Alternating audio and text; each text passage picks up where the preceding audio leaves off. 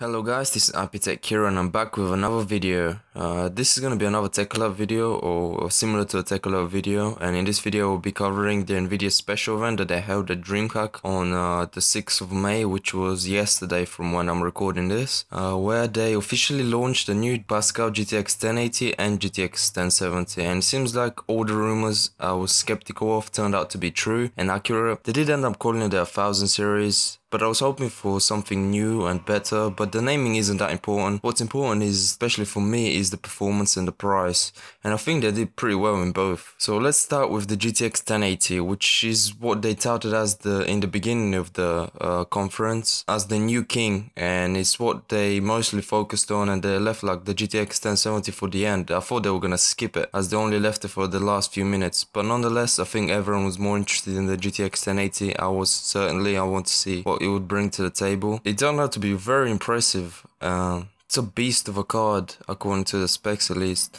Firstly, they showed it playing The Division, Tomb Raider, and Mirror's Edge maxed out 60 plus FPS. We didn't get this resolution, but still impressive. And I think it was like 1440p or 4K at least. But what we got next was even more impressive. They showed it performing a live cinematic showcase of like very high detailed characters from a game from Epic. And at the end, they reviewed the clock speeds uh, and the temps, and it reached 2.1 gigahertz clock speed or 2111 uh, megahertz clock speed. It's only 67 degrees on air, which is extremely mind-blowing. And to acquire this type of clock speed with the Maxwell architecture, you needed LN2 cooling and the GTX 1080 was doing it on air. So the efficiency and performance of this 1080 is truly impressive. So and moving to the 16 nanometer FinFET process, process definitely paid off. In addition, this is the only this is only the GP104 core, so it's not the fully unlocked one, meaning that the 1080 Ti and the new Titan should be should give an unparalleled performance. It wasn't down there. The CEO of Nvidia uh, went on to compare the GTX 1080 to Maxwell and showed that the GTX 1080 is actually faster than the GTX 980s in SLI and the Titan X, and with only 180 watt TDP, which is close to a single GTX 980, which is pre the previous most efficient card for the performance. He didn't get more specific than, than that until later on, but first he had to unveil some more uh, new technologies uh, like simultaneous multi-projection, which fixes uh, the free when you're using free monitors it fixes the side monitors uh, stretching in games and makes an accurate representation of the game which is very cool and i liked it. And also the, uh, the also the improvement in vr technology and improving the frame rate as well by manipulating the image uh, which was pretty cool as well. And also also another one in the beginning about audio and uh, surround audio as well as being able to capture in-game uh, images through a software. I, I forgot the name at the moment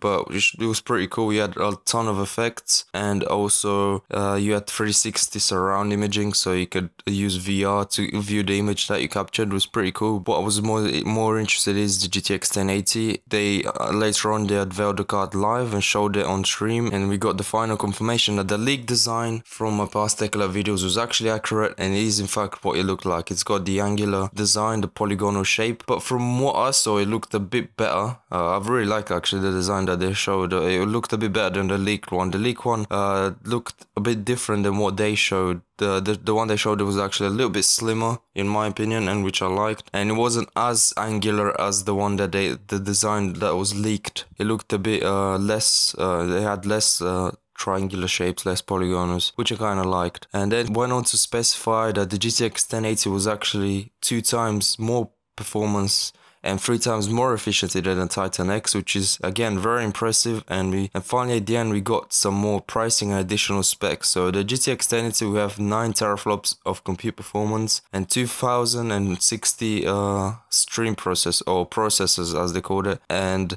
8 gigabytes of GDDR5X memory, which they also went on to say that it's uh, the fastest memory out at the moment, made by Micron, and will, it will be costing $599 MSRP, and there's also a $699 Founders Edition, which, and it will also hard launch on the 27th of May, which is at the end of this month, and before Computex 2016, which is where I thought it would launch. We're getting it sooner, so I don't mind. And in the last few minutes, then also uh, revealed the GTX 1070. It will only have 6.5 teraflops of compute performance I didn't get a chance to see what kind of stream processors it got, uh, but I'm sure it's a bit cut down, like 2000 something. And with, with 8 gigabytes of GDDR5 memory, so yes, we got the leaks were accurate. The, the 1070 didn't use GDDR5X, but that makes sense for them, and uh, I'm a bit disappointed, but can't do anything about that. And again, they said it would be as fast as the Titan X for only 379 MSRP and 449 Founders Edition, so it's pretty good for the value for money. Then, if it is as fast as the Titan X, which is a thousand dollars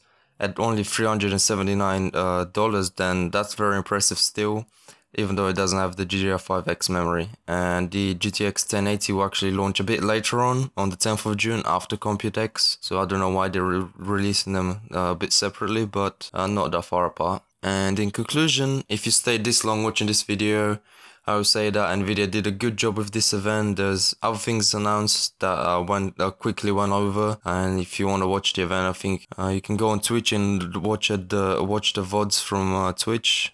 In there, you can see the full live event and get all everything that they announced. But I was very impressed with the GTX 1080. It's looking like a beast of a card. It's gonna have amazing 4K performance in my opinion if it's twice as fast as the Titan X. And also the 1070 is got my interest if it's as fast as the Titan X. That would be a good, good uh, 4K card with the 8 gigabytes of uh, VRAM. And I think AMD might be in trouble at this point. I know they're only focusing on mainstream cards, but I think the GTX 1080 will actually fall into that category at only $379, which is a bit high. Uh, but if it gives the same performance as the Titan X, then the value for money there is going to be amazing. And the 1080 is just a beast, so AMD should kind of worry because I think they'll be getting uh, giving us a bit higher end cards like these with Vega in 2017 and I don't know if they can top this. I know AMD will be using a 14 nanometer process so they could actually get a lot better efficiency and maybe higher clocks but we just have to see. At the moment I just can't wait for the GTX 1080 and 1070 to come out, the hard launch to, uh, to come out and we actually get some real benchmarks that say what kind of performance we get if you get the twice as many, uh, twice as fast as the Titan X or comparable for the GTX 1070. Uh, but this is gonna be it for the video, guys. If you enjoyed it, feel free to give it a like and maybe subscribe to my channel. And if you want to ask me anything about this topic, then leave a comment in the comment section below, and I'll see you in the next one.